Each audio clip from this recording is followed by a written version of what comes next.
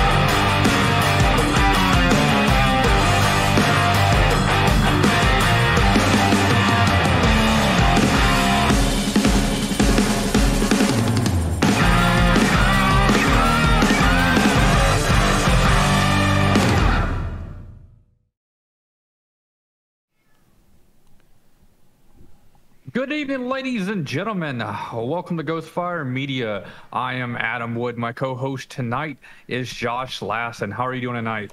I'm doing absolutely fantastic. I'm looking forward to watching these guys run around Kansas. It's one of my favorite tracks to run. It's a great one to watch a race at because it's fast. There's a lot of lines you can take, and it's going to make for some great racing tonight. Yeah, these guys are gonna have a blast out here. You can uh, kind of run anywhere with these Xfinity cars here at Kansas, and uh, I, I, can't wait to see what these guys can do. I mean, you're gonna have some aggressive guys running the bottom line. You're gonna have some guys running the middle line. You'll have the guys up top trying to save their tires and trying to be the least aggressive at the start. And uh, I'm hoping for some really wild pitch strategies here tonight, Kansas. I honestly, that's another great thing about Kansas. If even if we go green tonight, you're going to see a lot of people just going on varying pit strategies because tires aren't going to make the kind of difference that they would at other tracks. But at the same time, you're still going to end up having some people try to undercut. We're going to see people try to overcut. And it's it's just going to be a lot of talking points for us tonight and a lot of entertainment and shifting around the field as people make their way in for fuel and tires. Yeah, unlike you know other mile and a half tracks that might be at a bottom lane only or a top lane only, I believe tonight we're going to be able to see a lot of lanes being used. Uh, tonight, though, right now the air temperature is around 72 degrees. The track temperature is 84 degrees. So there's some grip out there in the track. Track's not too hot for these guys out here to make these moves. No and that's going to be the biggest thing that we're going to see. With this cool of a track people are going to be very aggressive. We're late afternoon so we're going to actually get to see a lot of people try to make low moves, the line to be on is going to be the wall. There's no way around that. That is yeah. what everyone's going to want to run. Exactly. Everybody's going to try to want to run that upper groove, but the earlier laps, the first five to 10 laps, and every pit cycle, every restart, uh, it's going to be the bottom line. Everybody's going to dive there to, to basically shortchange those corners to cut them off. Well, and uh, and that's going to be the biggest thing that we're going to have to watch for tonight because these guys, there's no way around it. They're going to have to run some very interesting lines to make things work. As we'll go ahead and jump out here with Cameron Hearn as he's crossing the stripe. We're going to see a lot of guys try to drop down to that very bottom as they're going through just to shave a little bit of time off.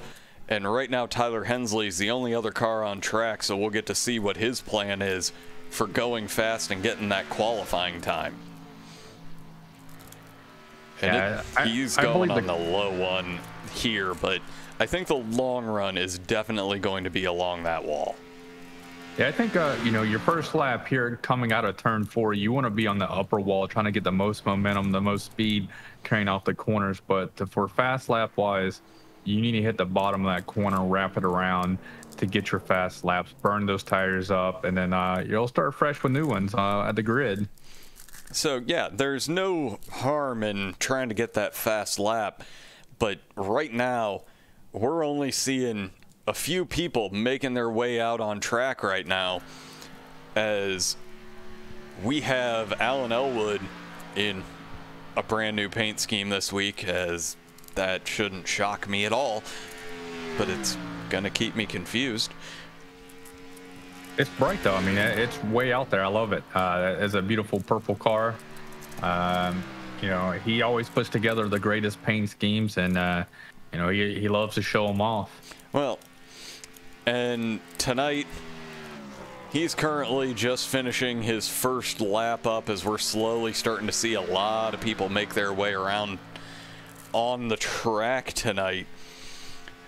But the biggest thing I'm waiting to see is how the line gets modified as we go around because Alan is running the exact line that I would anticipate to be the preferred line as opposed to as we were watching other people with Tyler Hensley dropping down to that lowest groove as you come through the turns but Kansas is it's an inter- intermediate but it's very aggressively banked to make it to where these cars are going to be able to hold a lot more speed. As we see Alan Elwood running that top line take over pole position. Yeah, but he got the rest of his team out there. We got Hayden Pastoris, Michael Stroll, John Gervon, Justin Morton, Casey Shue. They're all out there. They're waiting until the last minute to get out there and run their laps. Well, and, and you know, it's working for them because they are going out as we'll go ahead and we'll take a quick look. There's Michael Stroll. He got his first lap done. He most likely ran that top groove the first time around to get himself up to speed. And now we're seeing him drop all the way down, hoping to shave a little bit of distance off. And he holds that, goes up, and arcs it down towards the line. And we'll see if that was the way to go, and that only gets him up into fifth. Yeah, I mean, you know, these cars going to drive completely different when we actually drop the green flag. These guys going to be able to, with the extra draft, they're going to be actually running five to 10 mile an hour faster going into these corners. So we're going to have to watch to see how well, you know, the, the tire's going to hold up with the extra draft and extra push going into the corners than what they're used to during these uh, single file practices and uh, qualifying runs that they're use- they're doing now. Well, as we have just a little bit under two minutes left in the qualifying session, there's still close to 10 people that have not set a lap at this point. And I'm finding that somewhat surprising, but at the same time. We have a lot of people all on track, though, right now. We have one, two, three, four, five, six. Say we can six. follow up with Thomas Baresi, who's at this point seeming to be a favorite every week to win the race. And we'll see if he can get himself a nice quality lap in to be able to put himself in the right position to just take this race and run away.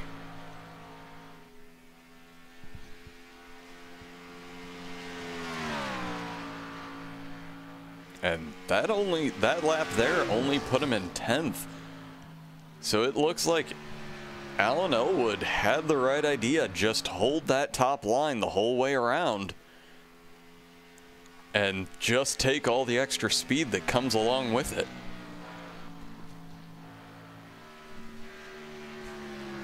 Uh, he he's trying to run that middle high line right there, just like um, Alan Elwood did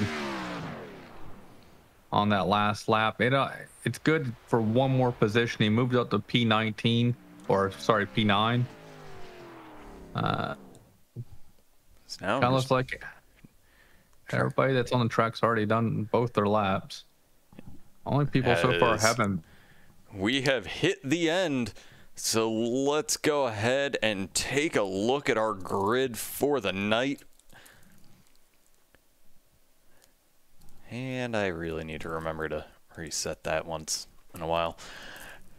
Our pole sitter tonight is Alan Elwood taking his namesake award. Second is Chad. One week we'll actually remember to ask him his name. Week or er, in third is Cameron Hearn. Fourth Tyler Hensley. Fifth Michael Stroll. Sixth Randy Bechtel. Seventh is Hayden Pistorius. Eighth is Boomer Logan. Ninth Thomas Baresi. Tenth is Justin Morton. 11th is Brad Slaughter Jr. 12th is Eric Wineland. 13th is Blake Gordon. 14th is Will Roberts. 15th is Brian Kita. 16th is Joe Dinsmore. 17th is John Gervon. 18th is Danny Ware. 19th is Brendan Bernhardt. And rounding out the top 20 is Zach Edwards. And then 21st, we have Casey Shue. 22nd, Norm Pelletier. 23rd, Sean Carmody. 24th, Travis McQuiston. 25th, Guile Brooks. 26th is Cal Flarsky. 27th is David Mott Jr., 28th is Tyler Dolger, and 29th and rounding out the field is Kyle Cooper. Alan Elwood gets the Elwood pole once again I, this season. And I'm not going to say it's rigged, but it's starting to feel that way.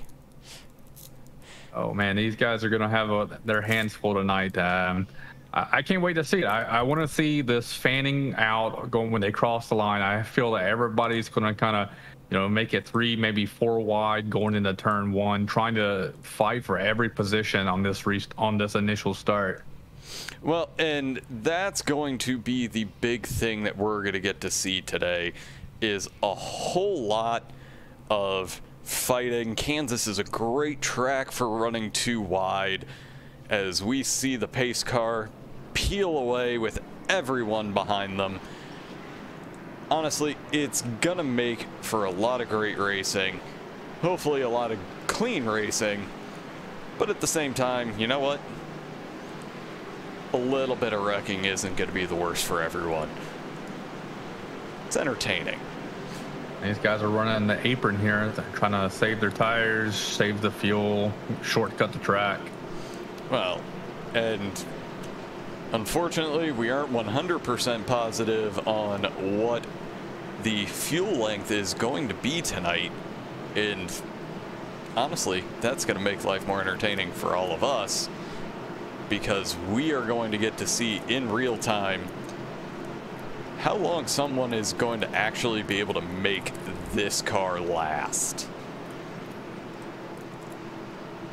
And I'm looking forward to a great race, and I'm looking forward to everybody out there commenting and telling us uh, who do you guys think is going to win tonight?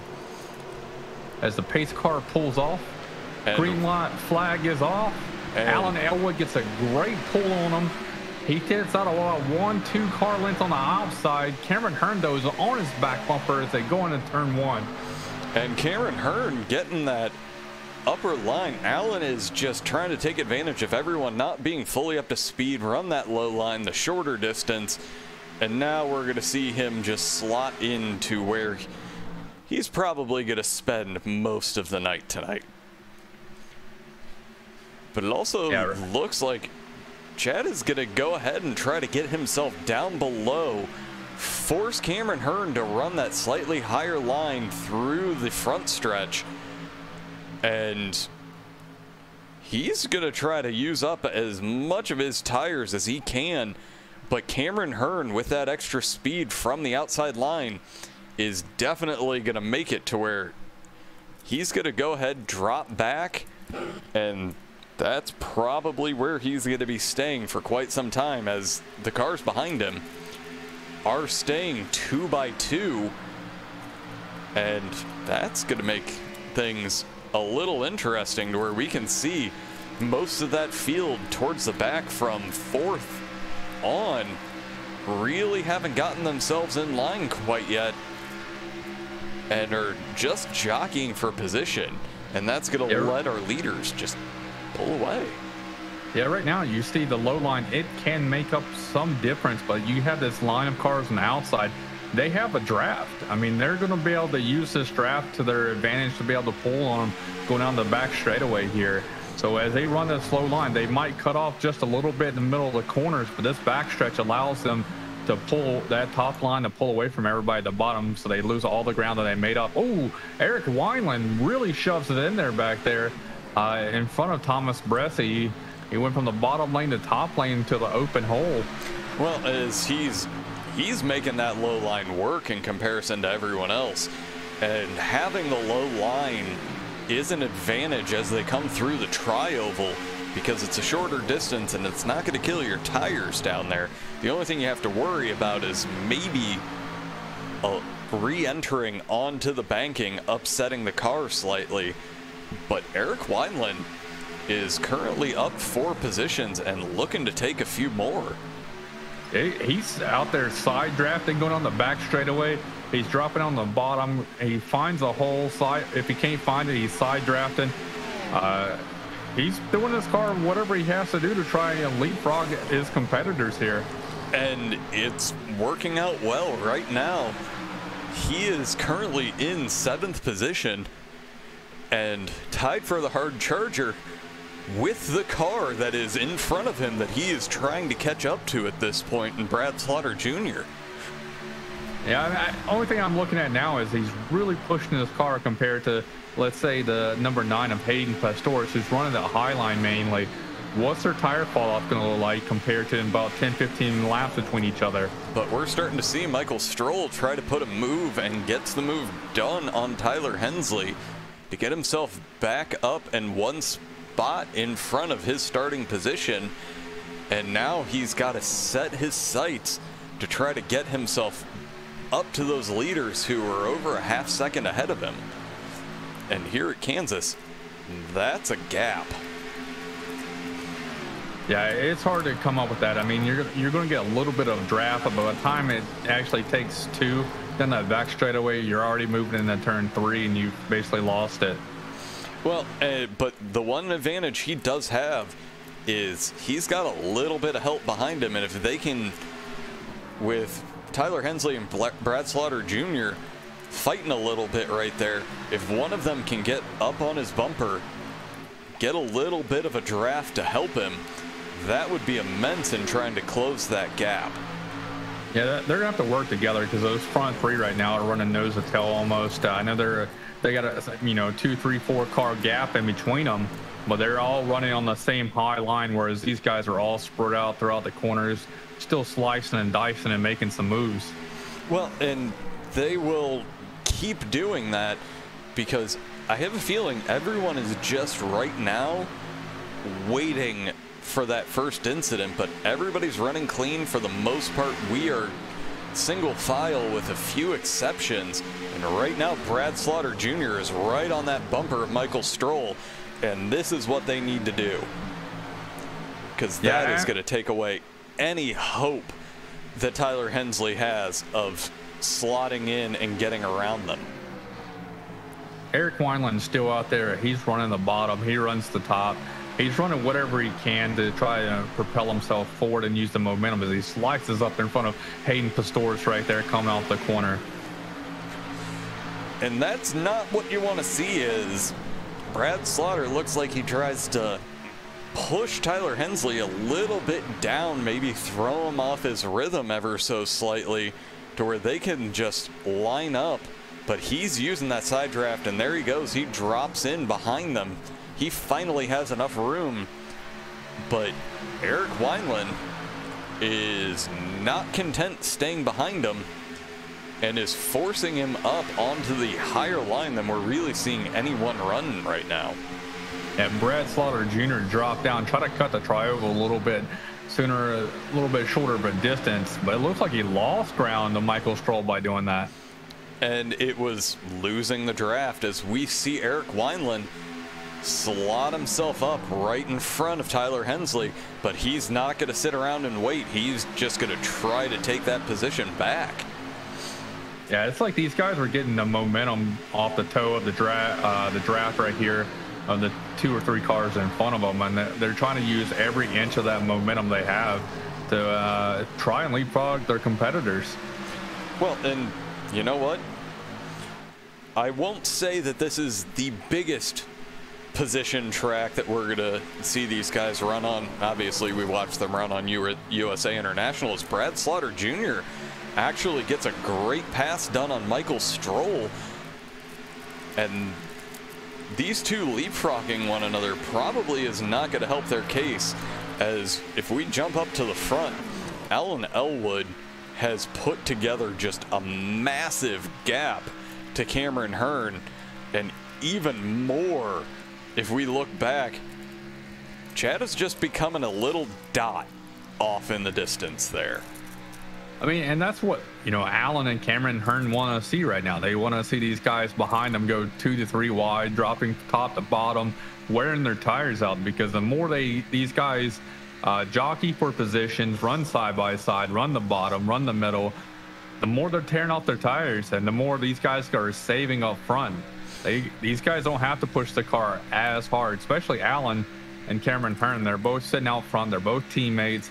They understand what's on the line here. So they're communicating most likely back and forth to tell them, hey, man, let's not go full throttle here. Let's kind of let off, go in the corner a little bit more than we were. You know, let's save our tires in case somebody does make it up to us, then we can make the push. But right now, we're starting to see this group that was fighting Brad Slaughter Jr. He's making that push for third place right now. Yeah, he's closed the gap there on uh, Chad. Uh, so that's the next like big battle that's going to happen is for third outside of Eric Wineland, Tyler Hensley, and Michael Stroll. These guys are still putting on a heck of a show. Well, and you know what? Eric Wineland does get that low line, is able to cut off the front end of Michael Stroll and get the position but I'm not sure that's going to last too much longer. We are we still have 100 laps of 117 and he has had to have done some irreparable damage to those tires. Yeah, you got Thomas Bressi now right now in the 24 coming up in the on this thing. They got uh, he seems like he's got a little bit more speed than these guys. He closed the gap pretty quickly on Hayden Pastoris. And he's bringing another pack with him. We got Blake Gordon, Will Roberts, Justin Morton, and Randy Bechtel right there. All in the next pack trying to join in on this. This pack's fun. Well, and the more the merrier. I want to see a whole lot of fighting here as we see Tyler Hensley and Michael Stroll get pretty close there. But Michael Stroll has an amazing run on Eric Wineland and he is just looking to get that fourth place or fifth place back. But while you were while you're looking at that, Chad uh, got passed by Brad Slaughter Jr.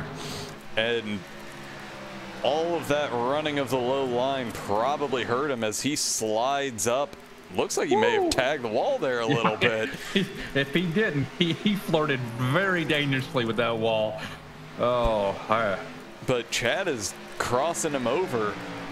But I don't think he's going to have the run coming out of four that he's going to need to hold off that extra speed of the top line as Brad Slaughter Jr.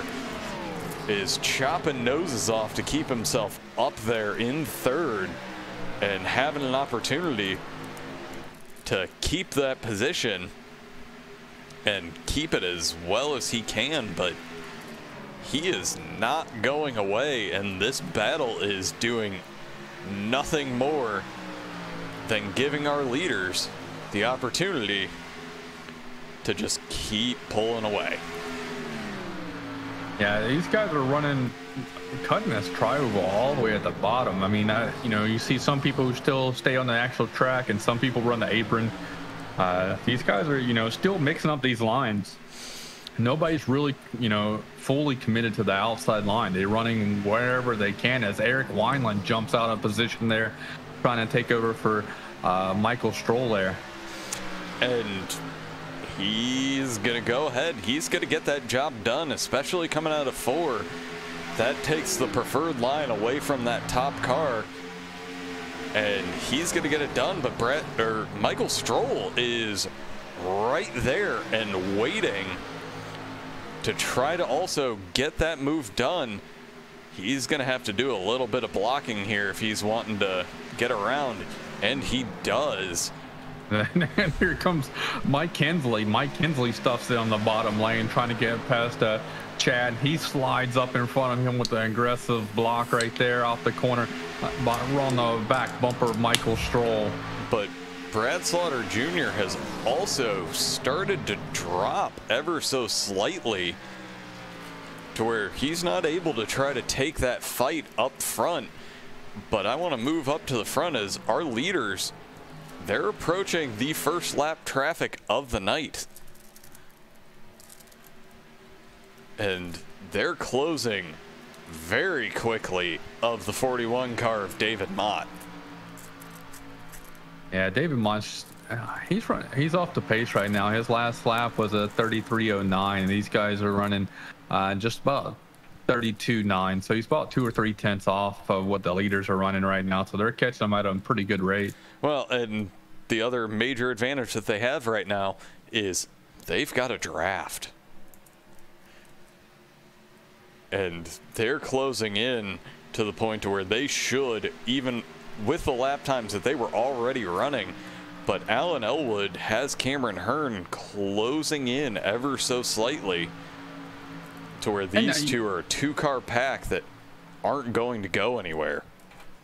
Yeah, I think these, uh, you know, Cameron Hearn's probably going to work with his teammate Alan Elwood and not really try to force the issue, but help push and propel each other give each other the uh, you know the draft and the draft and everything that happens with that. Well, while we're waiting on that, we got to get back here.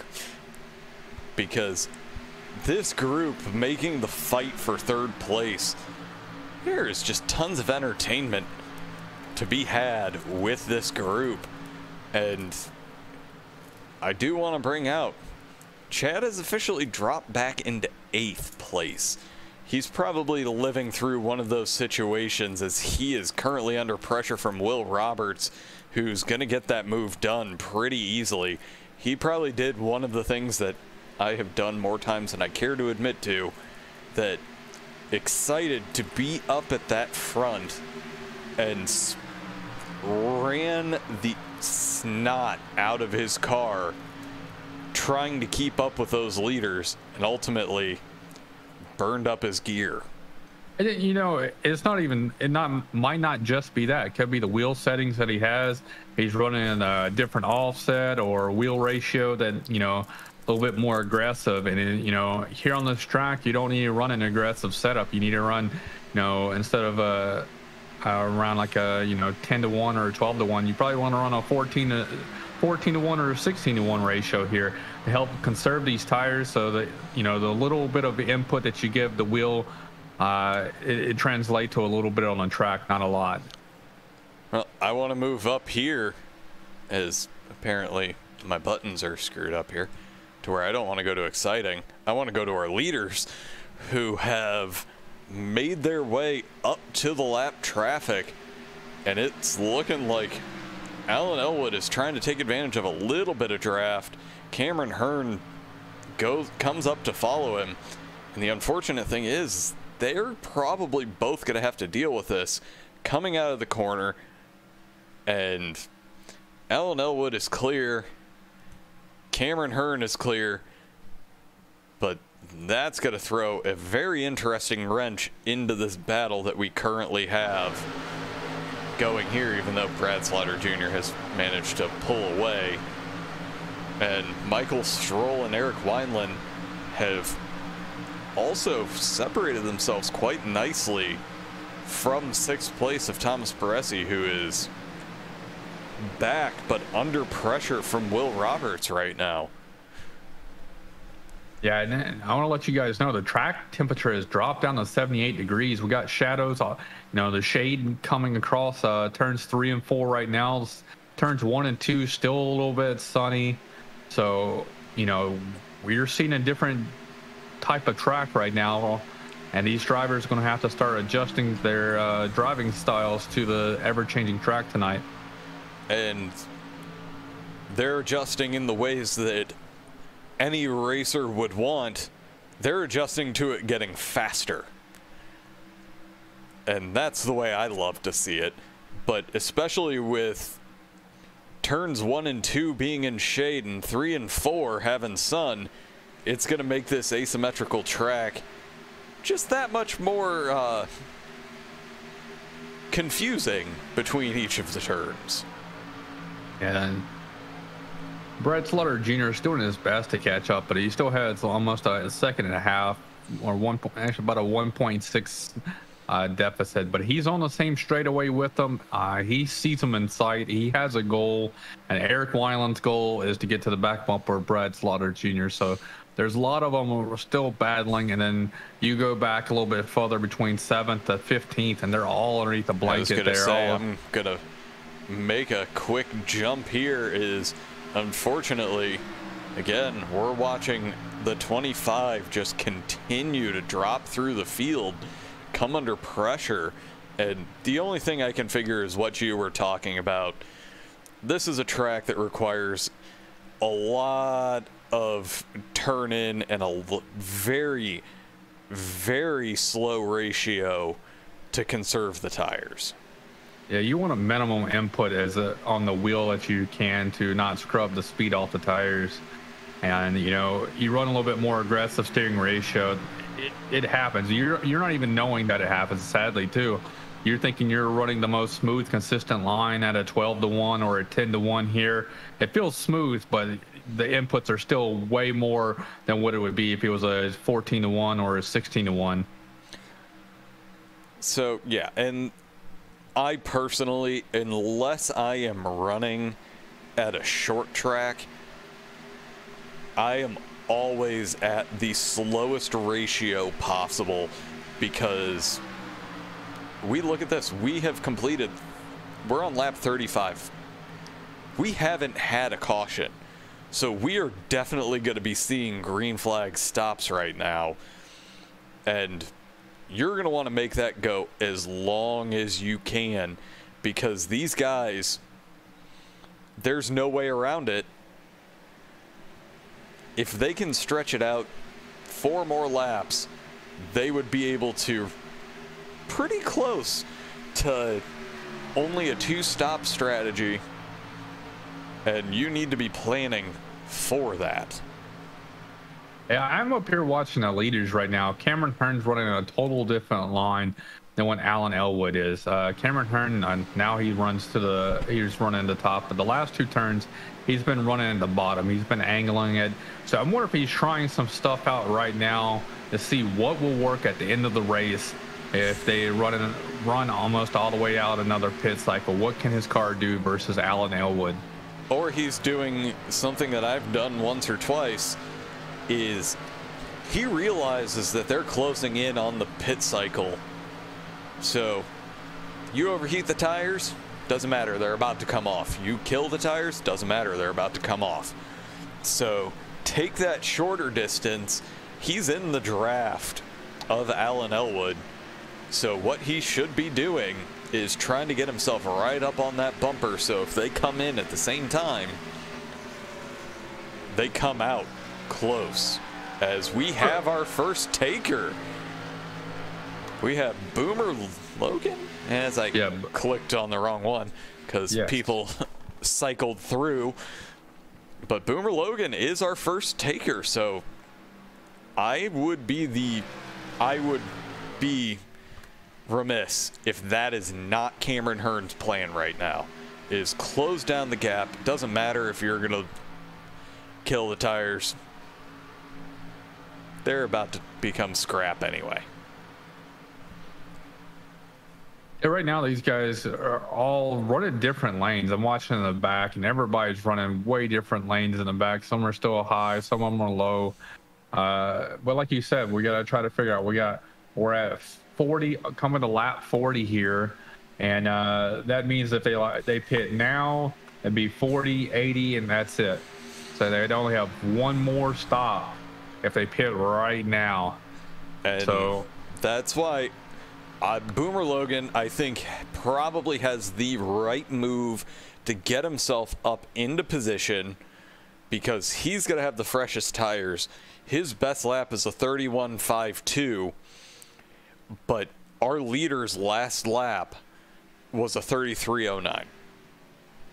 And we got Norm. He's in the pit road right now. We got our, our second uh, second person right now is out there running. And we're starting to see a whole lot of people making their way down and especially the top five, ten. Uh, the top two, top three remain the same, but about fourth through eighth just came in. So Eric Wineland was the leader of this little pack before they all came in. So we'll have to wait and see what ends up happening here as the first one out and back on track. Looks like Aaron Eric Wineland is going to lead him and he's got quite a gap over Michael Stroll. And that just screams as we are seeing everyone start to make their pit cycles to where 15th is the last car right now that is currently still out on track. And my guess is these guys are going to work to run it dry because the deeper that they can make it and hold their lead,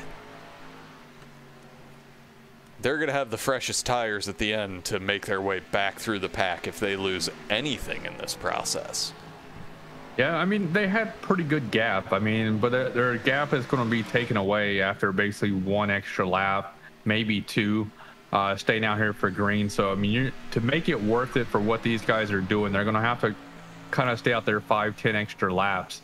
So by the time when they come into their pit cycle, those new tires are worn off from everybody else, and they'll be able to drive through the field with their brand new tires. Well, as we're looking and seeing the numbers on pit lane, we're seeing roughly a minute 45, so that's three laps. To where even if these guys are slower and somehow, I don't see how, they could make it only on two stops or on one stop. I don't see I I I just do not see the advantage to staying out at this point. I know they would. I mean, if everybody just pitted right now, I mean, they got to be somewhere close on the, the end of their fuel cycle. They're As not going to be able to do 60. Alan Elwood drop very low, which mean tells me he's going in, but Cameron Hearn is staying out. My guess is he's going to be able to get one extra lap in on this stint because he had Alan Elwood's draft for so long.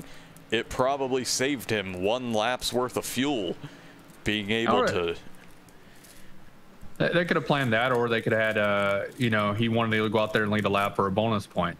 Well, that is also a distinct possibility as he's dropping down right now.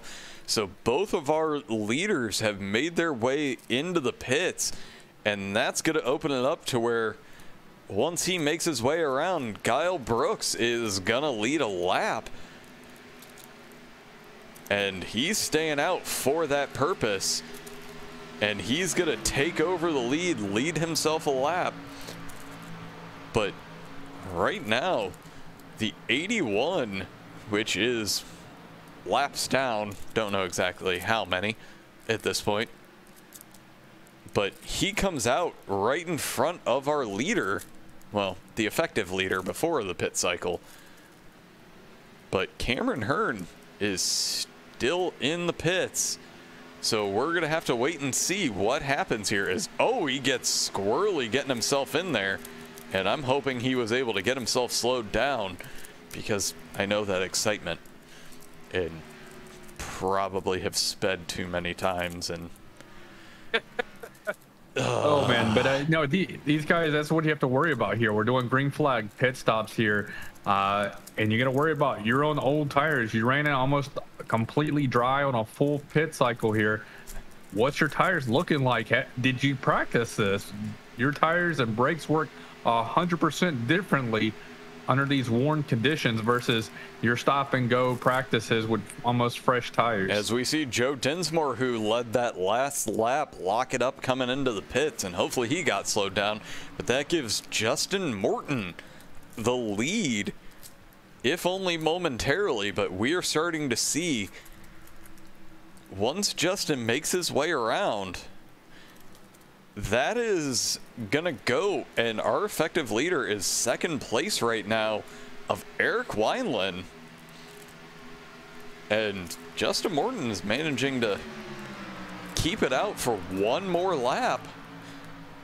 But once he makes his way in, that's going to give the lead to Eric Wineland with Thomas Baresi behind him, but by three seconds. As Blake Gordon is not sitting around and waiting for him on those old tires. He wants to take advantage of every second he can get back while we do this. But Thomas Baresi who's running in third for the time being as Justin Morton does make the dive into the pits. That's going to give Eric Wineland the lead. But Thomas Baresi, who's almost three and a half seconds back, is under pressure from Brad Slaughter Jr. And these guys, Brad Slaughter jumps down to that low line, hoping to get just a little bit extra hugs the low line through one and two, and he's going to be able to pull himself all the way back up there, stop any kind of a run that Thomas Baresi may have, and he's going to take over second place. But right now, Michael Stroll is also looking and then right behind, join that right party. Behind, right behind him, you got Alan Elwood coming up right uh, trying to pass them now. And Cameron sitting about two seconds back from this pack. So this is where, you know, the leaders that stayed out there for probably another five, six laps compared to these guys.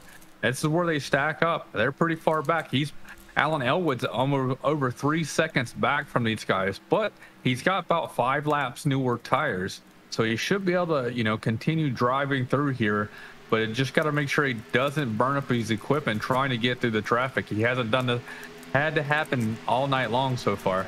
Well, and it's funny that you say it was exactly five laps. It's like you were counting or something. I was guesstimating. but right now, Eric Wineland, who is our leader, is on 12 lap old tires. He's up 11 places to be the leader here. But Alan Elwood is getting around Thomas Baresi, who does have those five lap older of tires. And he's just wanting to make his way through and get himself back up to that lead. And as the pace he's running right now, that shouldn't be an issue. He's almost a second faster than Eric Wineland was on that last lap. Yeah, Alan Elwood's now, you know, he's been running the top line almost the whole entire race, but now he's going to have to drop down and go to that bottom line uh, to start making his moves around the rest of the pack. He's already made it at the third. He's right on the heels of Brad Slaughter Jr., who's sitting in second, who, who only has two lap older uh, tires compared to Alan Elwood, but he's trying to get by him and quick, fast, in a hurry. Well, and the advantage that he's going to have with staying out as long as he did, even if he pits with these guys the same time the next time, because he is going to burn up his tires a little bit as they come up to lap traffic. And that's a 55, Norm Pellier, and this is... That's splitting these guys. And these guys are awesome. I love watching these guys, the amount of confidence they have. They're running around with everybody, and they'll be able to put their cars wherever they want however they want. And, it, everybody is able to drive around them. And it's real nice to be able to see this type of action in a league. Well, and that's a big thing is we see Brad Slaughter Jr. tag the wall coming out of four, and that's going to drop him back and that's actually going to eliminate some of the draft that he current he had on Alan Elwood, and I have a feeling that that was part of what was keeping him with him. Yeah, I mean, right now he's been flirting with the wall almost uh, quite a bit all night long. He's running that high line, or he runs that bottom line that slingshots him to the outside wall. and that safer barrier sticks out just enough where it can be a factor uh, compared to when this track used to didn't have the safer barriers. You still had you had the extra three four foot that you could run. Well, NASCAR's better for having the safer barrier. Oh, it is, but, But- it, I, I I hate that it it took away the driving lane. I wish they could have backed the wall up five feet and made the safer barrier that way with instead of taking uh, some of this valuable racing surface away. Well, some of the newer tracks, like we're about to see Atlanta get redone, and Cameron Hearn just went off track. I, I will take a look at it. See, I was gonna say, let's. Oh, he he smacks the Oh, wall that's the wall, and and he oh, starts cutting the grass. Oh, that's uh, that's hard to see considering he definitely was running to be a favorite. But right now, we're just seeing Alan Elwood has caught Eric Wineland, and he was four tenths of a second faster on that last lap. So I mean, I, you're gonna have to run his line and block him. I mean, that's the only way you're gonna do it. But Alan Elwood has just so much momentum going to back straight away. There's no way to try to block his entry into turn three. And he's going to get the job done to retake the lead. Now, the question will be can he go another 45 laps on these tires after having just essentially abused them to get himself back up into the lead as we're quickly approaching half race distance? I'm hoping to see if there actually is any kind of an issue. And I got to jump back here because I keep seeing positions change. And there's Cameron Hearn and Blake Gordon battling for seventh position. And Blake Gordon, he's got a clean car. Well, now he's not got a clean car but definitely Cameron Hearn's car is showing a whole lot of damage from that run in with the wall, and that's to be expected, especially considering how hard he hit it to send him into the infield. Yeah, I mean, he's driving as hard as he can, running the outside line, and sometimes it can come back to bite you. And that's kind of what happened with him. He flirted with disaster, and uh, it bit him. So uh, you know he's going to have to bounce back. Uh, hope for a caution someone so we can repair some of that damage because this track is very aero dependent. You don't need any type of damage here uh, to try and slow your car.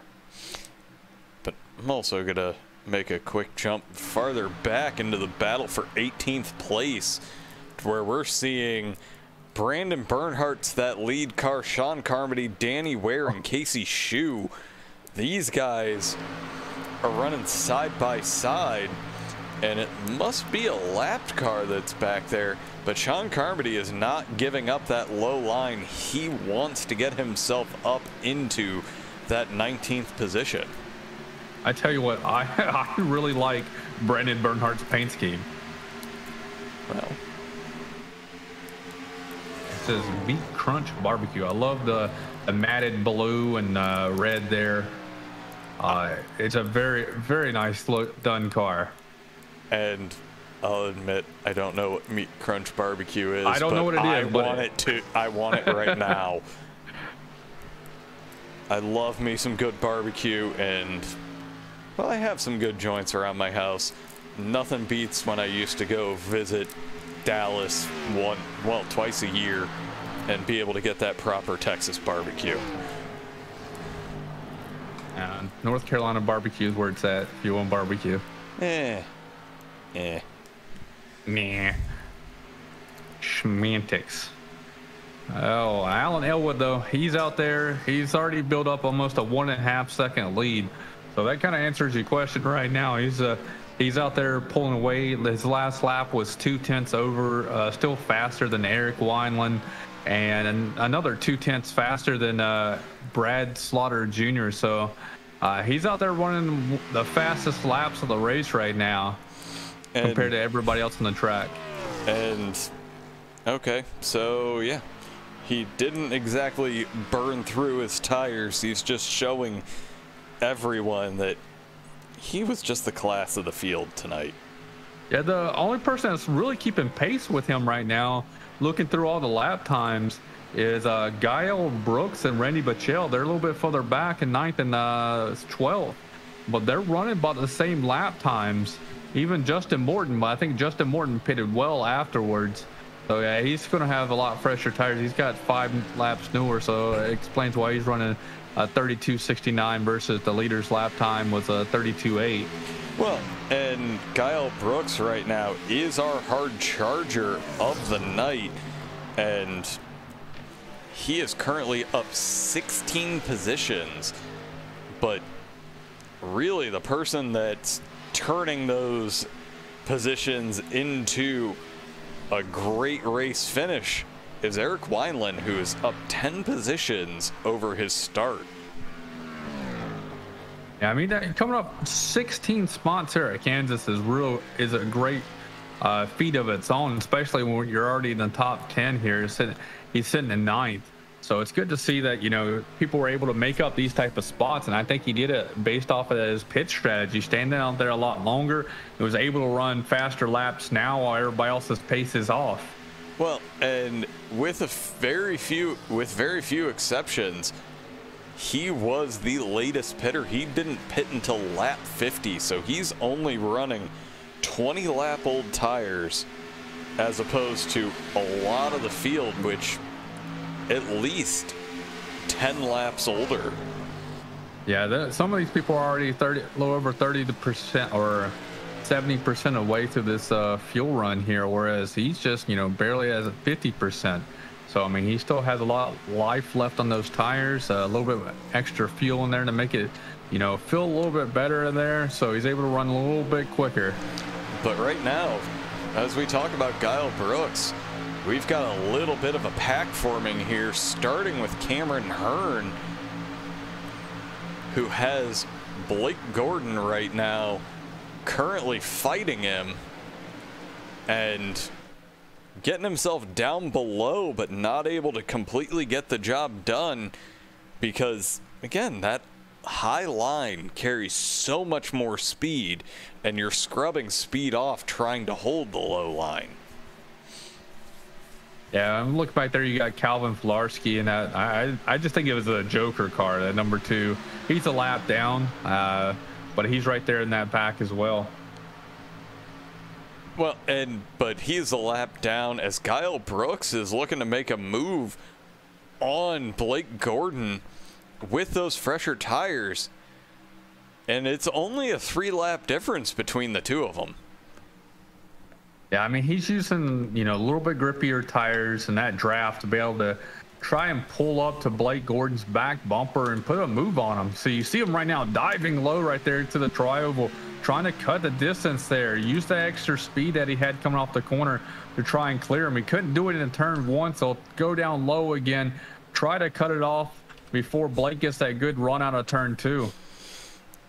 As they're getting close right there and I want to jump in and take a quick look at what it looks like from inside of Blake Gordon's car right here as he keeps seeing that number 71 on his left side and trying to keep that extra speed to where laying off the throttle ever so slightly and seemingly right back on it He's but doing what he can to, keep keep that foot in the throttle come off the corner. Uh, keep Guile from being able to slide up and taking that momentum away. But right now, Blake Gordon, he's doing exactly what I would be thinking about doing, and that's trying to get a little bit extra of a launch by cutting down to the low section of that track and get the best run he can on that long front stretch as Blake is doing everything he can to be full throttle well before that turn. And he's closing the gap slightly, running the line that he's running right now. Yeah, so I mean that that puts Kyle Brooks up another two spots right now. Last time we talked about him, he was a ninth. Now he's in seventh. Now he's trying to chase down Will Roberts, who's about a almost a second ahead of him.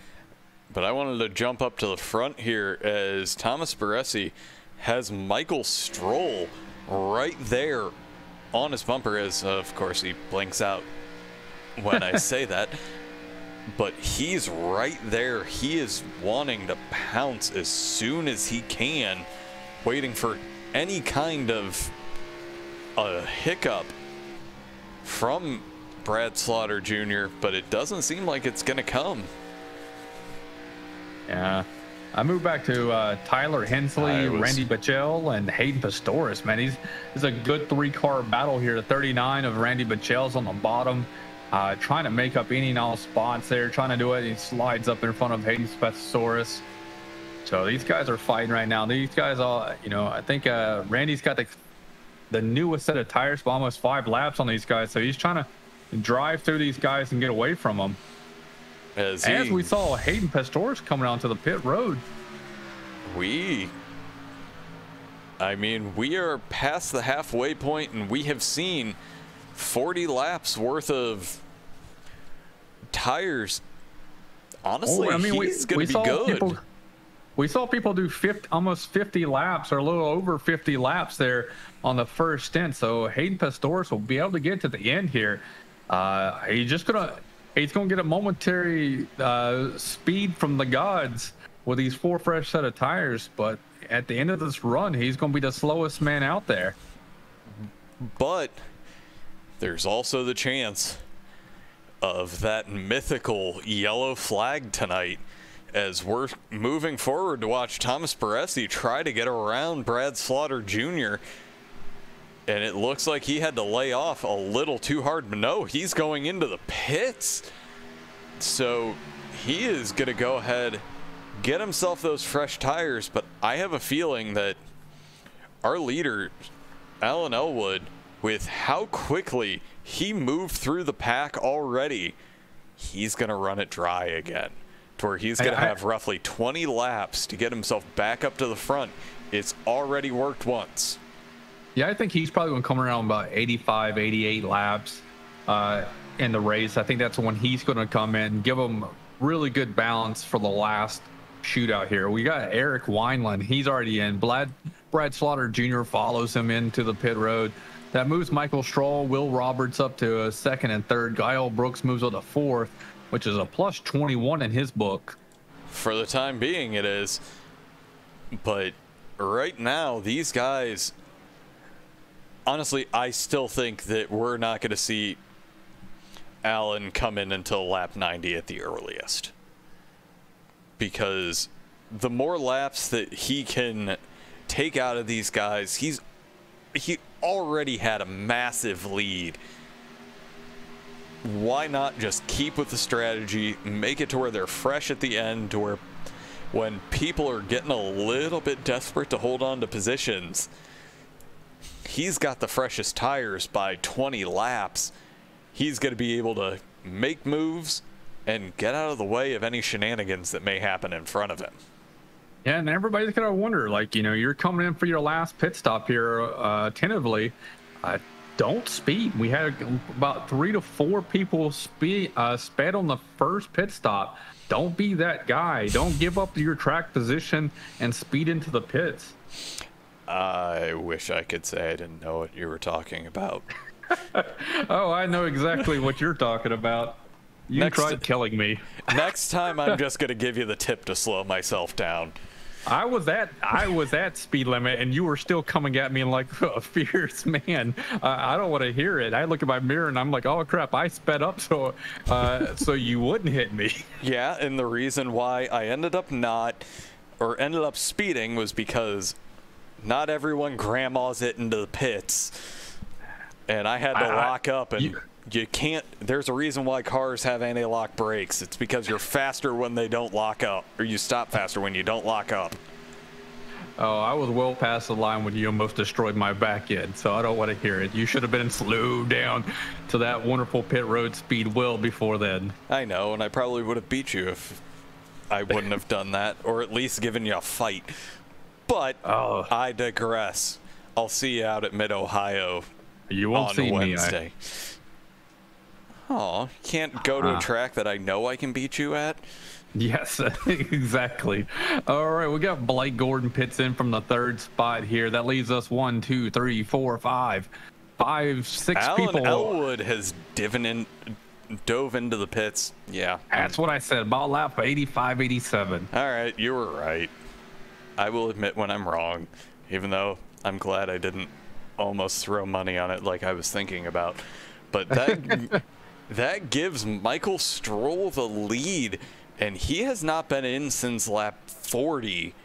So, and right now, this is the part that's actually kind of throwing me off is the fact that Alan Elwood had enough of a lead that he is currently sitting still in his pit box and is just now starting to drop out.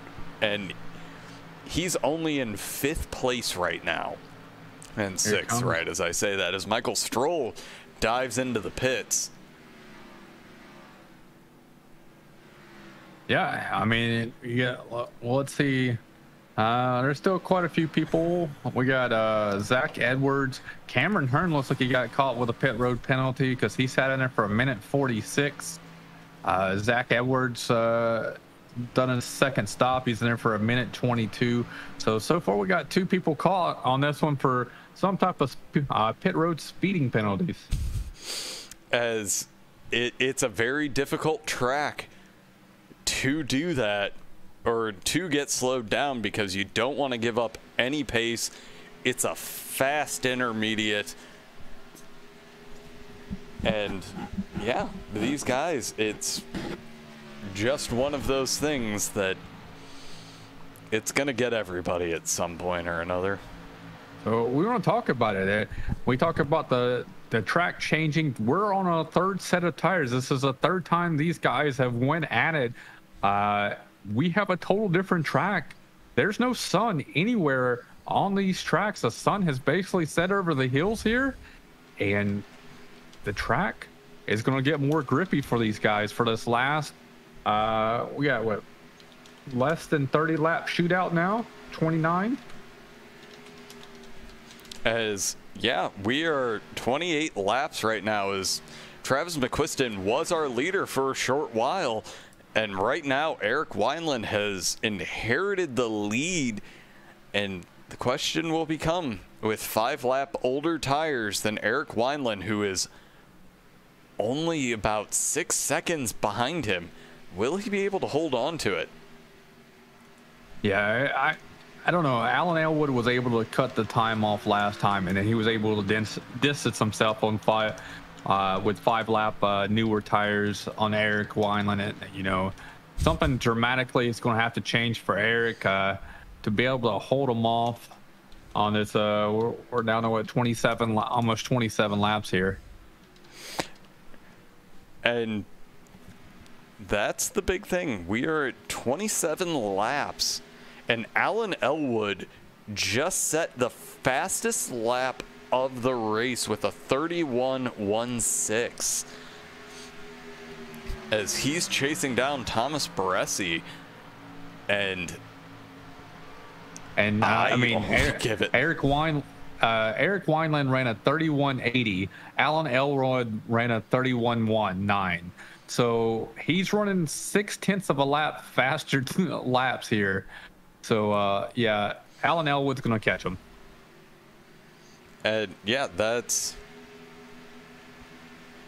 it- It's just going to turn into can Eric Wineland hold him off as he's got four and a half seconds of a gap?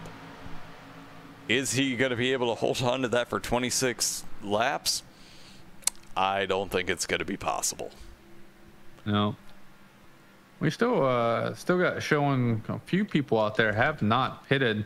Uh, they're mainly the lap down cars. You got Kyle Flarski's only pitted once, Kyle Cooper's only pitted once, and Danny Ware's only pitted once out there.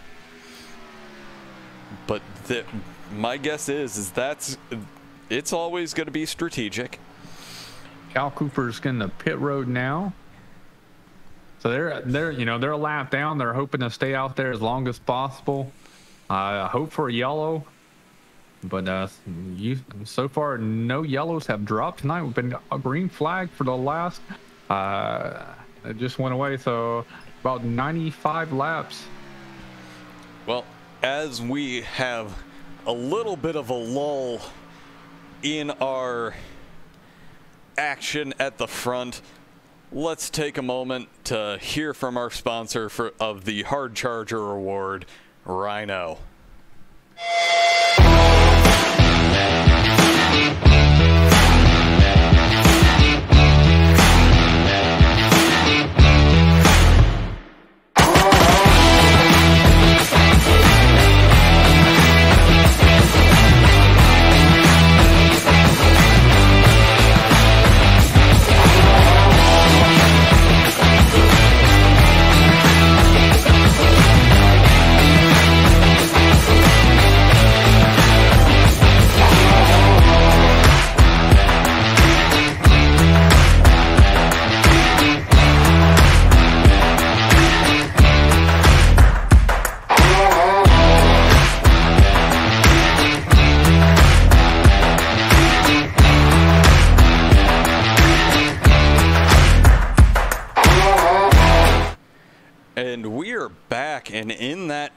frame, Alan Elwood has closed down to the gap to nearly two seconds. And we got 22 laps to go. Uh, this past lap, Alan Elwood's about a second, just or uh, it's not a second, but a tenth faster on him. So let's see as they come across the line here. Eric Wineland crosses. Let's see uh, where do they sit. It's only about eh, half a second of a Yeah. difference right now. And oh, these things are not labeled well. But yeah, he has been closing that gap steadily. Ooh, Eric Wineland's hard into the wall. He smacked the wall coming out of turn four, lifted the whole entire front end off of it, and is able to keep going. But he's got some heavy damage to that front right after that. It doesn't look all that terrible, but that doesn't mean that the suspension doesn't have it's not a little bit off. But right now it's only a half a second and Alan Elwood is I give it one lap. By the time we hit 19 to or uh, 18 to go, he's going to be around and he may prove me wrong and have it done before we get to 19 left. And right now, Alan Elwood has taken over the lead. Yeah. Eric Wineland's car slapped the wall and climbed the fence and then slammed back down to the ground. And unfortunately, it'd be like that is one of those things that, as a driver, he's going to be just okay. We've heard of people throwing water bottles, we've heard of people breaking their wheel stands, wheels falling off. But the biggest thing I want to talk about really quickly right now is Alan Elwood is just pulling away from Eric Wineland. We have 13 cars on the lead lap right now. We're closing in on the possibility that only one third of the pack is going to be on the lead lap by the time we're done tonight. And the person that's in 13th spot is Chad. He started out with the, the strongest run up front. He was running in top three in that first segment and then just fell like a rock about halfway through. And uh, he's sitting the last one on the lead lap right now. It's about uh, about 27 seconds back from the leader. So uh, he's only about a straightaway or so back from being a, a lap down. Well, and I'm wondering if possibly there was a wall brush that we missed that may have put a little bit of a camber issue on the front end of his car that has just been scrubbing speed off ever since. Yeah, I mean, it, sometimes these cars are, you know, you barely tap the wall and you, you feel like you did nothing wrong and your car drives like crap. And sometimes you see like somebody slap the wall like Eric Wineland does, and he still has speed like crazy. So, you know, it, it's hit or miss here. So I want to jump back here because right now the action on track, we've got Kyle Brooks, Blake Gordon, and Hayden Pistorius, who seems to be dropping ever so slightly from these guys. This is the battle for seventh place right now, and they are just waiting. I mean, you got to think Hayden Pistorius was the first one on pit road at lap 77, where the guys in photo are, you know, Blake Gordon at 84, Kyle Brooks at 83, Will Roberts is at 81. So everybody around them has a lot fresher tires than everybody else. And just look back there, Chad pitted on lap 67. Like he went in super early. Uh, there's, yeah, he, the only thing I could figure in that situation is he was looking to get the best laps out of the tires as Blake Gordon is making a move around Kyle Brooks on that top line. And he should have it after this turn. You uh, know, you got the number three Will Roberts dropping down to the bottom, helping the 71 catch a little bit of draft to the center of the corner, though. So, I mean, that's helping the 71 and hurting Blake Gordon. Well, but he is clear as they come through the trioval. And Blake now is going to set his sights on Will Roberts to where he's only got about two tenths of a second over Blake. And Blake has a draft and the speed. And holding that top line right now, he is going to have a great run coming out of four. And he's only, it seems like he's only dropping down that far to keep himself in the draft because he's almost immediately back up to where he's normally entering the corner and trying to retain as much speed as he can to maybe get the job done here is he's got a great run. If he holds that top line, has a the perfect entry, I he mean, should be able to have that job done going into you saw one. Will Roberts right there. He uh, he's moving down out of the way, kind of letting uh, Blake Gordon get the runs that he's getting off the corner. He could have ran that top line going into turn three there, stop Blake from having it but he was he dropped down about three quarters way down the back straightaway to let Blake have that uh, run that he had. So Will Roberts is out there showing some really good uh, sportsmanship with him. But he is he's going to end up relinquishing that position soon enough, as we only have 10 laps to go. Blake gets himself down in front of Will Roberts, and Will will end up following his line he's sticking to that low line, hoping that it's going to yield some dividends. But Blake has that top line figured out. He has the extra speed. And even with Will being in the draft, he's still pulling away ever so slightly. Yeah, Will drops down pretty far in the center corner. Looks like he picks up so much momentum, but then he, he can't just get the drive off that Blake gets on the outside there. And Blake's by the end of the uh, straightaway there is able to clear him once again. But these guys, it looks like they're going to keep switching back and forth. Maybe Blake is having to lay off that throttle a little bit longer than he's wanting to to keep it out of that wall. But it looks like Will has that. But I got to go back up here as Thomas Baresi actually gets the pass done on Eric Wineland. And we're going to actually jump to the replay of that. Just gets a great run out of two on the backstretch. Has that low line, doesn't go all the way down to where he can hold speed. And ultimately just gets the pass done coming into the front stretch and using the number 93 of Travis McQuiston to keep Eric from getting all the way down. So we'll head back live here these guys are running every line possible, trying to make any and all tenths up. I mean, these guys are doing what they can. And it's awesome to see all the great action all night long throughout the field. It doesn't matter where they're at, what position they're at. These guys are giving them their all, trying to fight for that extra spot. But with only seven laps to go, now's the time to be doing it.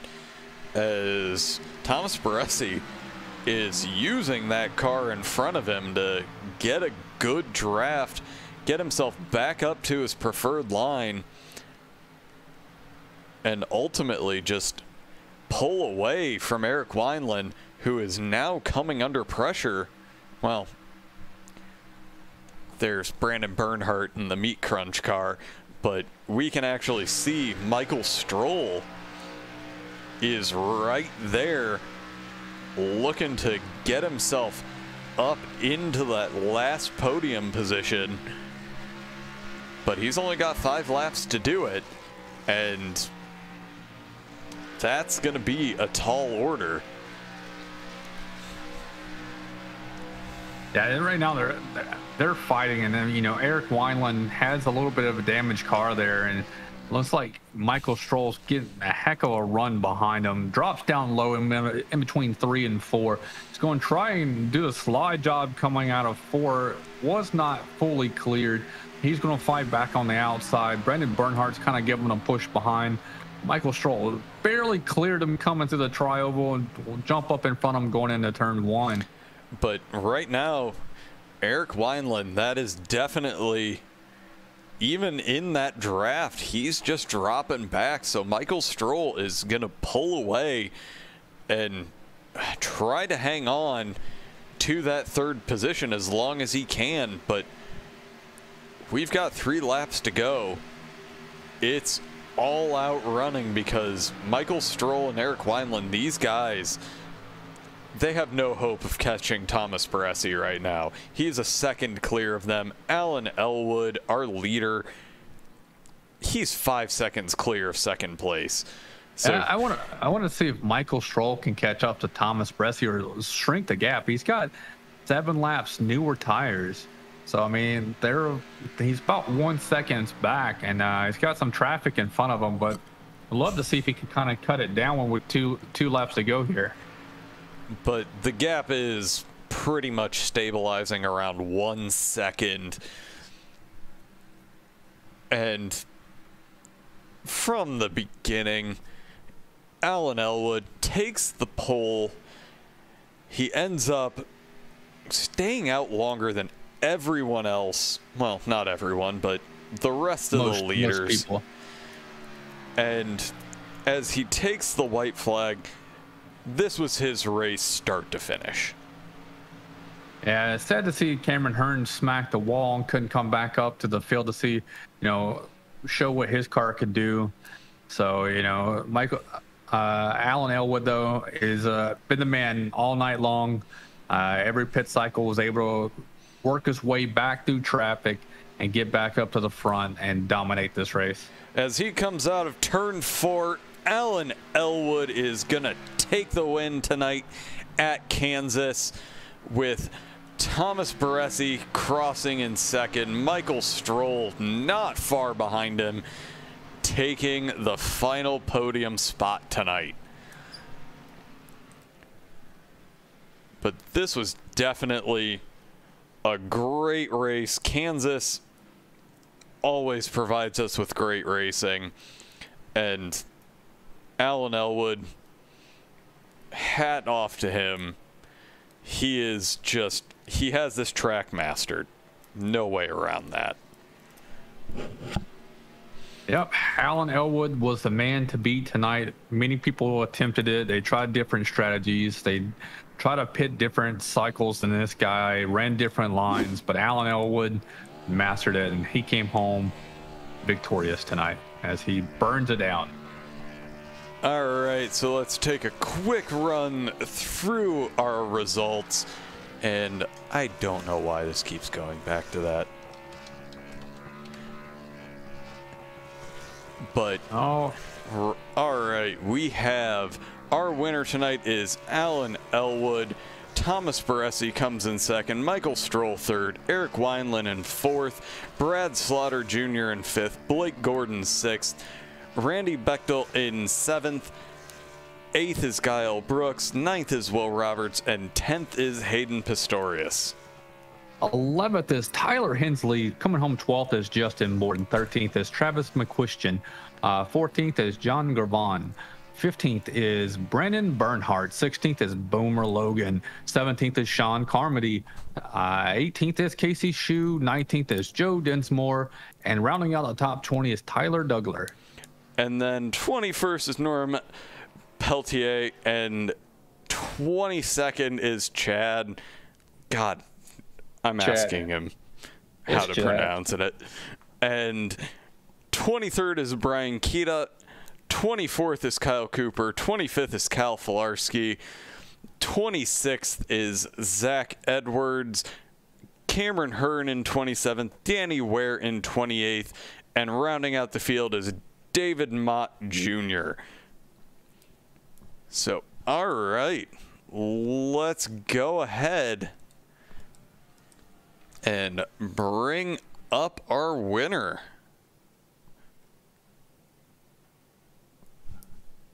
As I lost him. If you can find him first. I actually. got him. Oh, He's at the bottom. Hey, Alan, it's uh, Adam and Josh in the booth. You get a copy? I got you guys. All right, you're becoming a weekly regular up here, man. Uh, congratulations on the win. How how did you feel about tonight's race? Um, for Kansas, I think it went really well. Uh, I was actually really shocked that it went caution free um, because we, you know, you guys know this track is notorious for being one groove, and lo and behold, the, bottom line actually had some speed. Um, I'm not really sure what was all going around on the track as far as passing goes, but like you could actually run down there, get your get your wheels on the white line, and actually make some speed. So that was that was awesome to be able to have some sort of extra groove to be able to run around here because otherwise it's it gets pretty boring. It, it was definitely a line that we saw some people running all night, still running fast, to where I'll admit I'm just as amazed as you that you can normally make one, two laps down there before you have to move back up to the top groove, but we were seeing people run down there all night. Yeah, and, and you would only expect that with the Cup car, being that it has the, the extra downforce and, and lower horsepower that, to make that work. But this car actually surprised me um, quite a bit tonight with with the flexibility that it had to be able to run in both grooves. So, I mean, that's that's awesome that they, they were able to to finally make some sort of change to get that to work, and uh, it, it made for an awesome race. I mean, you know, again, we went caution free. That's that's amazing. Honestly, So- so I'm going to call it as being the new update that they did with the suspension. And I've seen it wreak havoc in the past week, but at the same time, tonight, it looked fantastic. Yeah, the the car really for a fixed setup, car drove really well. I thought tonight, um, looser than I think a lot of us probably anticipated. Some people were fighting tight, I know, on our team, but for me, it was all about that right rear actually hanging out, you know, on both ends of the track and and trying to make it time that way, trying to be aggressive with the throttle to get the car to keep turning, and that's where really where I thought I made my speed from apex off was just you know as soon as you let off early get into the center of the corner get back on the throttle hard and, and just you know keep it wound up and that's that's where it felt like it made the most time So so what do you feel that you were doing differently than everybody else? Because I mean, uh, you were putting on a clank there, man. yeah i'll be honest uh, if cameron didn't have his bad luck cameron very well could have came away with the trophy tonight um, i felt like he had maybe just that little bit more raw speed than i had which is typical it seems like um, he just has that that thing hooked up and knows how to, to get the most out of it every single lap and uh, you know I caught a break there with him uh, catching the wall, but um, I don't know. You know, maybe it was backing up the corners a little bit more, and and like I said, getting on the throttle earlier to be able to carry that momentum through. Some people might not have been as uh, hard on the throttle in the center of the corner because you really had to get that thing rotated with the throttle to be able to make that uh, exit speed possible. So you know, maybe maybe it was apex off. That's you know, maybe where I where I got all my speed from. I mean, honestly, there was no one out there to match your speed to where first lap after that last pit stop, you set the fastest lap of the race with a 31 I 31.15 if I remember correctly. And it cooled down, but no one else was even approaching that tonight. Yeah, I mean, I thought that Eric had a really good strategy um, on his pit cycle. Uh, he actually built up quite a big lead on me. I mean, I know that you know every lap is critical on these tires, but he had a sizable lead, and if he didn't hit the wall there, he could have easily came home with second. I mean, he he had everybody else gapped that far, and uh, you know, I think it's that's partly why I ran that fast lap was I was just trying to catch up as quick as I could because I know that tires do equal out, and I didn't want to be caught pitting too late and then not having the speed to actually catch back up. I got you, man. Well, you did what you had to do. You made the right calls all night long. You stayed out there a little bit longer than uh, most of the rest of the lead pack guys did. Uh, was able to cycle back out and uh, lead the most laps tonight. So, man, congratulations. Thank you. Um, give a big shout out to my guys tonight, uh, VRA. Um, really, really good showing by the team tonight. I think we we had the most speed out of any team out here uh, this evening, and and uh, you know the results might not show that for a couple guys, but you know kudos to everybody. I thought everybody had really good pace tonight, and uh, you know I'm but I'm excited for a week off, regroup. Uh, even though I got to win, you know, good to have a week off uh, and get ready for probably could be the toughest challenge that we see at Red, Red Bull Ring. It's it's going to be difficult. I still personally believe that these cars are well suited for that, especially in comparison to COTA. But that may yeah, just be it's me. difficult to Sebring, but we'll see. Hey, man, uh, go go enjoy your win with your team, man, and have a great night. Appreciate it, guys. Thank you. All right, that was your race winner and pole sitter, Alan Elwood. Let's bring up our second place. Well, wonderful Thomas Baresi. Hey, Thomas, is uh, Adam and Josh Nabuthi got a copy? Yeah, I got you guys. What's up? Hey, man, uh, how were you able to keep up speed all night long? Uh, it was honestly, I think it was just the pit strategy and stuff. It was it was hard to pass there, and uh, just kind of blew it in qualifying, and which you know I haven't been really great at qualifying for a while, anyways. So, um, I kind of got backed up a little bit that the first like 20-ish laps or so, and then I kind of was able to make a little bit of ground, and then just tried working the pit cycle as best I could, and try to take care of the tires and stuff like that. So. Um, it was a little trickier the first run. The second run, like I was kind of able to have some clean air uh, just from where I cycled out of the pits and just kind of was able to kind of read what some other people were doing. Like I knew Stroll kind of saved his stuff a little bit earlier in the uh, in that second run, and I Brad, I guess I don't know if he burned his tires off or what happened, or if he pitted earlier. I wasn't totally paying attention, but um, I was I noticed I was a little better than he was at the end of that uh, that second run. So just um, it kind of worked out. I was able to have a little bit of a shorter shorter stint on that last run. I think a lot of people were kind of in that boat anyways. Just a lot of people went a lot further. I tried to keep it more towards even thirds, but um, just kind of be able to just kind of keep my head down that last run and you know work my way through there and got to Eric. I wasn't actually sure I was even going to get to him, but um, I thought Stroll was going to get me there at the end, and he kind of I think maybe stalled out in the traffic a little bit, but just tried to be consistent, kept the you know kept the car out of the wall, which you know was was important. So um, you know not a great night, I guess, but I mean certainly not upset about P2 considering where where I started and how tricky it seemed to be to pass. Yeah, but the one thing I will tell you, those P2s add up. Yeah, they do. It's kind of it's it's funny. It's just like I feel like I keep ending up second to to different people, but hey, you know, it's it's you know, it's good to at least have a decent average finish and stuff. So, um, I'm not sure I might end up with the points lead after this week. I don't really know, but um, you know, I'm certainly certainly not disappointed, but obviously would have been uh, or like to have been a spot better. I just I didn't have enough for those guys, and you know got way way on the back foot there at the start from from where I qualified. But those guys up front, you know, drove a good race. So congrats to Alan. Um, Cameron probably would have been ahead of me, but he smacked the wall. I think.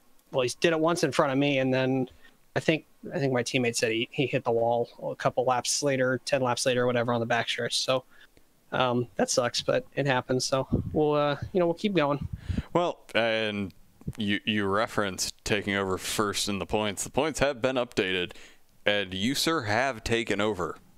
Oh well, that's good. So, I mean, obviously that helps as well. You know, if if I can hang on to that, um, you know, that that obviously helps when we get to the fuel finals in terms of, you know, the the seed. You know how how that kind of the points get divvied up there. So that's important, but you know, at the same time, I can't just get too complacent with it because I know that there's guys, you know, like it seems like Alan kind of, like, I feel like last year he was okay at the start of the year and then it took him a handful of races and then he kind of flipped a switch and like was kind of really turned it up. So it, you know, once he, once he gets one win, he's usually, you know, he's a little bit more on his game. So I'm, I'm sure he's not done yet. And I think he's got, I don't know exactly where he is in the points, but he's, he's probably going to start chipping away at things as well. I'm sure. No. Yeah, man. Hey, you, you ran a great race all night long, and like you said, consistency pays off. You know, you know, it's not first place where everybody wants to be, but throughout the season, you're putting yourself in the spots where you have to be in uh, to be there at the end. Because uh, you know, this race does not win the championship; it's a whole entire season that gets you to the spot where you can win the championship. So that's what you're doing right now, putting together some great races. Yeah, and I mean that's kind of how it was last year too. I mean, I only had the one win at Talladega, but you know, at the end of the year, I had a bunch of bunch of P two you know results that I think kind of helped, and combined with some other factors as well, obviously. But um, I try to just you know be as consistent as I can be because I mean, yeah, uh, you know, consistency is key. Whether you're you know you're putting top fives together or you're just out there absolutely smoking everybody, winning races or whatever. Um, you, you know, you just have to do the best you can every week. And I felt like I've done an all right job of that. Um, I still look back at like Homestead probably is one where I was kind of not really where I needed to be. Um, but I think ever since then it's gone a little bit better. Pocono probably uh, the outlier there, at least the last lap there. But you know that happens sometimes. It's all right. So. No, it was a great run. Happy to chat with you again this week. But no, congrats on taking over first in the points and enjoy the week off. Thank you guys. We'll uh, see you in two weeks. Alrighty. And then last but not finally, Michael Stroll comes home third. Hey, Michael, it's uh, Adam and Josh in the booth. You got a copy? Yeah, I'm here, guys. What's going on? Hey man, uh, you did a great run. You're, you know, we were able to save your stuff and save your equipment and bring yourself back up to a P3 tonight. You beat up here and get that wonderful podium position so you can come talk to me and Josh. So, how was the race? Uh, yeah, it's been a couple weeks since I talked to you guys. Uh, the race, um, I had felt like it would go green like it did. Um, kind of strategized that, you know, planned around that. So I, you know, I probably should have stayed out a little bit longer uh, like the five and the fifteen did on that um on that first run, and it cost me a little bit of time. So on the second run, I stretched out a little longer and uh, sacrificed some time. Uh, was able to get uh, halfway points and was able to get a uh, lap or two led, so I got some bonus points there. And I sacrificed some time, but um, I was able to you know get further than where I was. So you know I ran around fifth, fifth and fourth all night and up third. So I can't complain. Good points night. Um, kind of need that. Be kind of crawling back since the action at USA, um, but I feel like I should solidly make the playoffs here or the finals rather. I, I mean, know. you could call it crawling back, but you jumped up three positions tonight to where you're currently in sixth. In the, in the standings, I have not looked at. That yes, that yes. Wow. It... Well, go me. I'm happy with that. I was gonna say that it's it's all about the consistency to where you can have that one bad race and still jump your way back up. It's looking at everyone that's in front of you.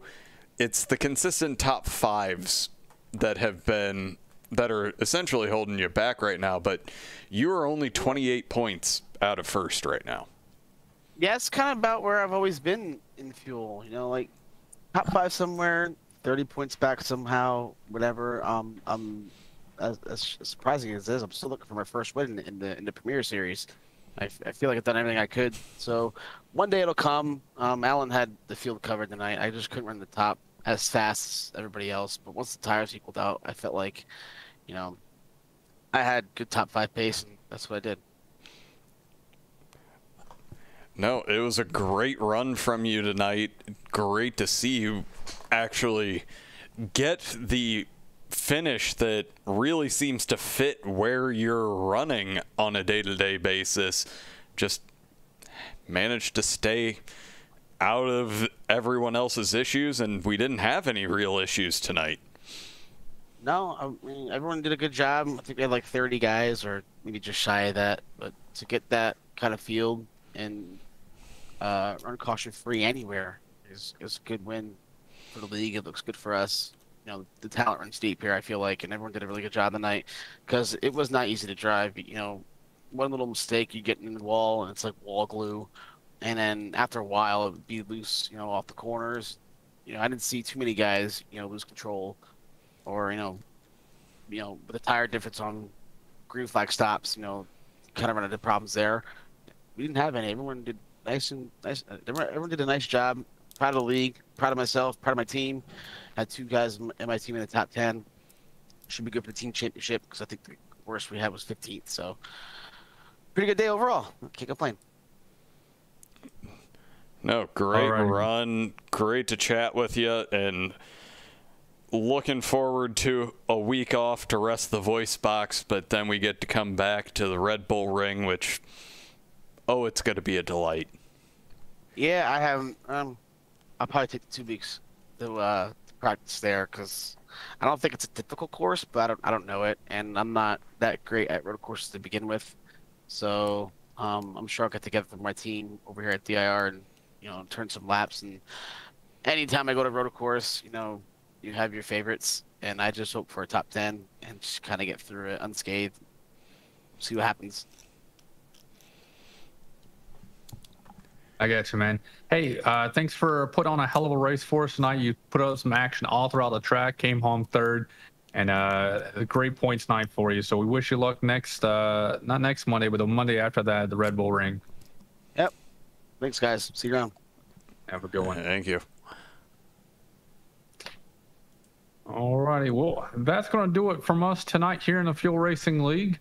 Uh, join us tomorrow night, IVRL, as we go to Bristol Motor Speedway. It's our last race of the round of 12. We'll drop it down, or no, it's the ra- last race of round of 16. We'll drop it down to uh, field of 12. So we'll find out who makes it through tomorrow night.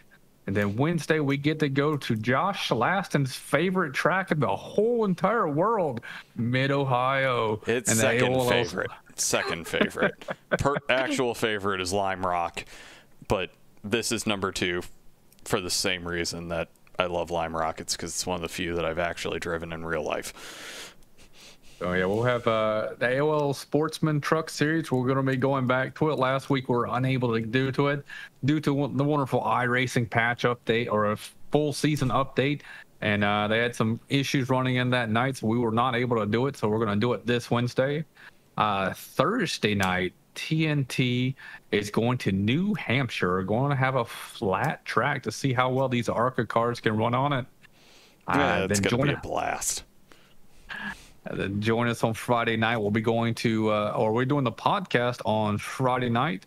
We'll recap everything we've done this past week and start talking about what's going on next week. And then uh, Sunday night, we'll be at AOL Cup Series running at Bristol Motor Speedway as well. And that's also another cut race for the round of 16, moving to the round of 12. So come out that night to see who makes it into the next round. So it's going to be a great time, a great week of racing. We're varied throughout, and Bristol's a great track to watch racing. It's single groove, but it's short. It's double. It's oh, the, they finally updated it to where it can be double oh, now. You, you can run the bottom line. You can hook it and run just about a tenth tenth off, if not the same lap times now. That's going to be fantastic to watch, and I'm looking forward to it. All right. Well, from us here at Ghostfire Media, we appreciate you guys coming out tonight and watching the race. Uh, feel free to hit that like and subscribe buttons on Facebook, YouTube, Twitter, and Twitch. We'll see you next time. All right. Thank you, everyone. Thank you for watching iRacing on the Ghostfire Media Network.